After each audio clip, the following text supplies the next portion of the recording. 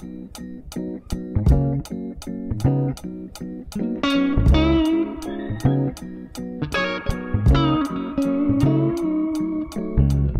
Taurus. Welcome to your December 2024 horoscope. This is the last month of the year. This will be the last horoscope of the year. I hope you're excited for the last month, but also for 2025. I know that maybe it feels a bit early to say this, but I am doing 2025 year ahead readings. They are uh, 30 minutes long. There's only a couple of spots available. So if you want to make sure you snag one up, uh, check out the link down below in the descriptions and in the comments. But let's get into what you can expect, Taurus, in the month of December. On December 1st, we have a new moon in the sign of Sagittarius in your eighth house. This means that you're starting a new adventure when it comes to your intimate life and to how vulnerable you are with those close to you.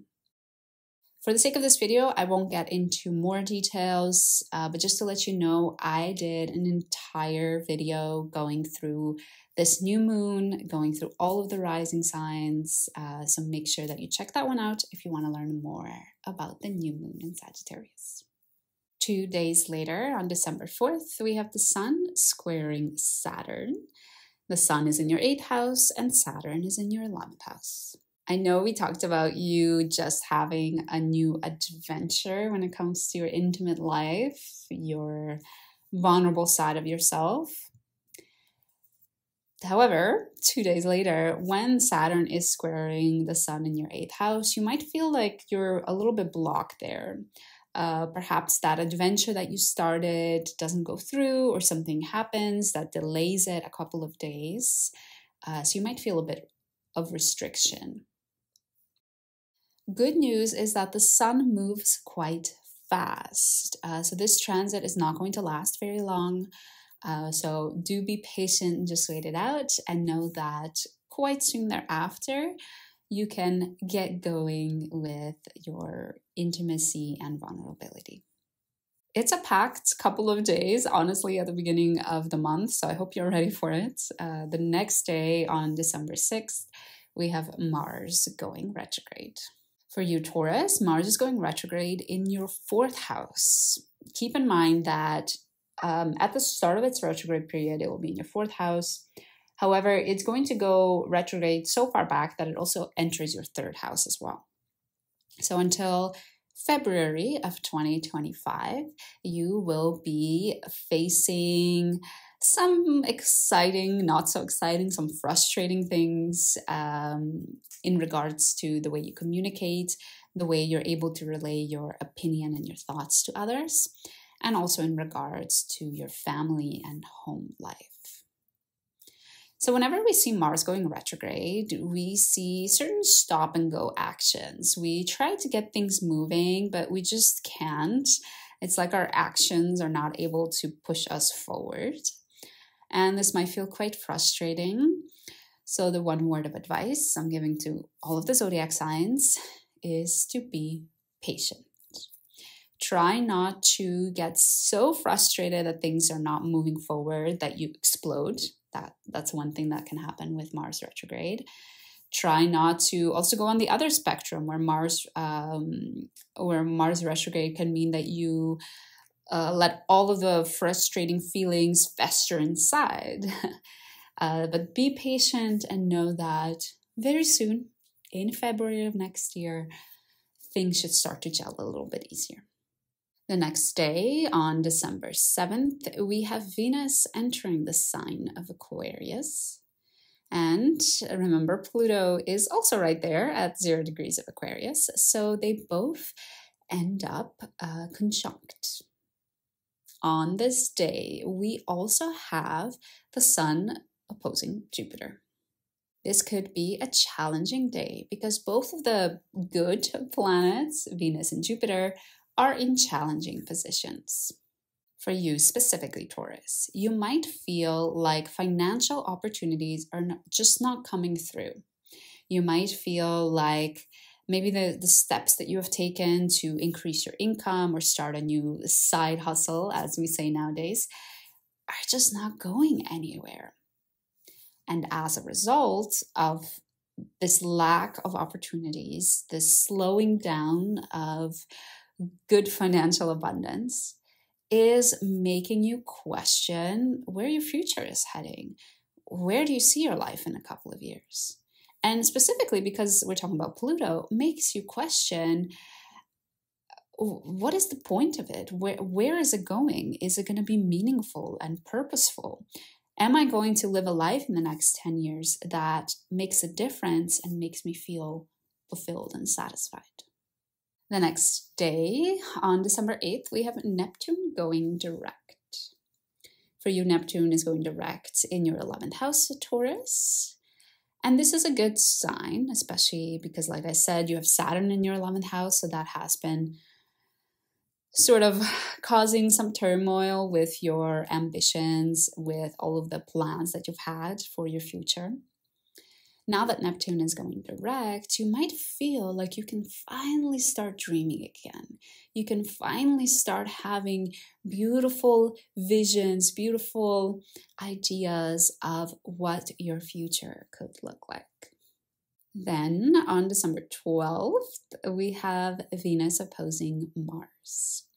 For you, this is happening in one of the angular houses, the fourth and the 10th house.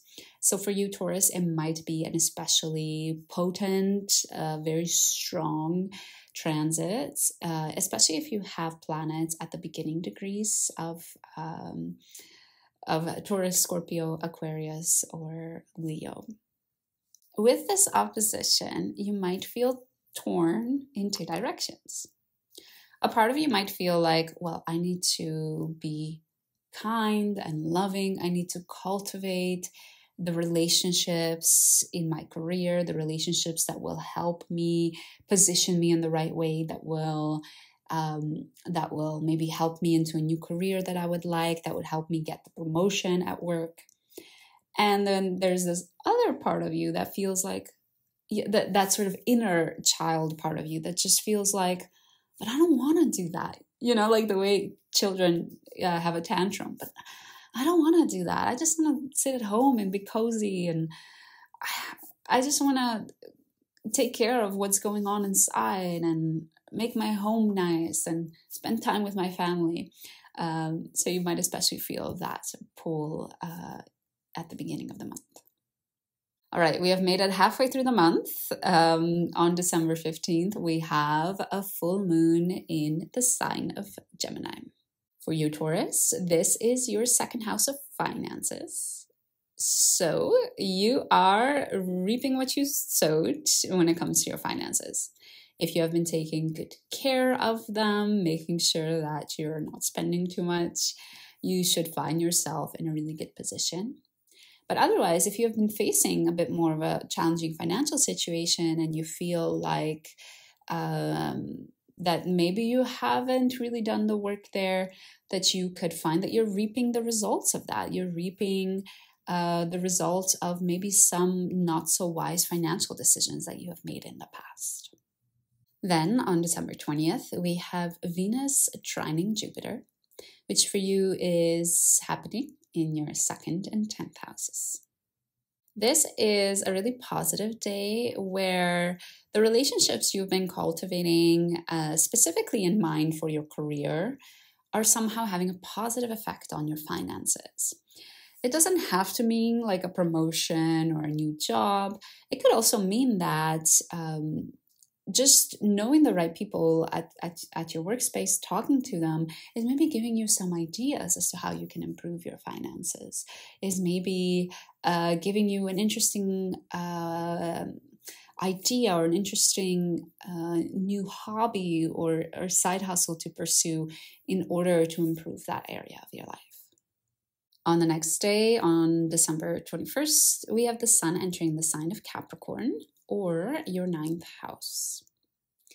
This means that if you're feeling a little bit dull from this day forward, you're probably not spending enough time and energy into traveling or with your uh, with studying, increasing your knowledge. So, do take a look if there's anything that you've wanted to learn for a while from December 21st. It's a wonderful time to do that. You might find that it makes you feel rejuvenated and happy to jump out of bed in the morning. Or if you've wanted to travel for a bit from December 21st onwards, it might also be a nice time to do that. You might find that it just feeds your soul. A couple of days later, on December 24th, we have Jupiter square Saturn. This square has already happened a couple of times uh, because you know the planets were moving direct. Now they, they were moving retrograde. Uh, so we've had a square like this a couple of times. So the energy might feel a little bit familiar. For you, Taurus, we're talking about the second and 11th houses again. So we see this interesting um, tension between your future ambitions, where you see yourself in 10 years from now, and your finances. You might be feeling like you have a vision of a life, but you don't know how you're going to get there looking at your current financial situation. You might feel like the vision that you want and that you have in your mind is not going to provide you with the finances that you would like to have. There's some sort of tension between those two areas of your life. We're almost there. We have two more transits in the month of December. One of them is Venus square Uranus, which happens on December 28th. These two planets are in your first and 10th house. And with Uranus in your first house, you've been really learning the last couple of years how to be your own unique individual. And during the square, you might find that being your own unique individual is maybe not supporting you in the best way in your career. You know, a lot of the times we're expected to act a certain way in order to be uh, considered successful, in order to be given promotions, in order to be respected at our work. And you might find that you feel at odds. You feel like you might not be able to express yourself uh, in the way that you would like to in your career. And then we get to the final transit of the month, which is a new moon in Capricorn happening on December 30th. The new moon for your Taurus is in your ninth house of travel and education. So you're starting a new uh, adventure. You're starting a new period when it comes to these, these two areas of your life. Perhaps you are signing up for a big educational program, getting a new degree. Perhaps you are booking some new travel, like literally getting on a plane or in a car. But overall, you should feel a lot more invigorated uh, when it comes to those two things. So, Taurus, we definitely have a couple of houses in December that are on fire, right? We talked about the ninth house of uh, travel and education. We talked about your career, the 10th house. We talked about your future goals and ambitions, the 11th house. And we cannot forget uh, your finances, the second house. These are going to be front of mind for you in December. Uh, so make sure you're on the lookout for what's happening there and doing your practices to help you understand what you need to learn and what you need to adjust. But overall, uh, Taurus, if you are curious about what 2025 has in store for you, make sure you check out those personalized year ahead readings. I've left a link for you in the description box and in the comments. Uh, so do check them out and make sure you uh, grab one fast because there's only five of them available.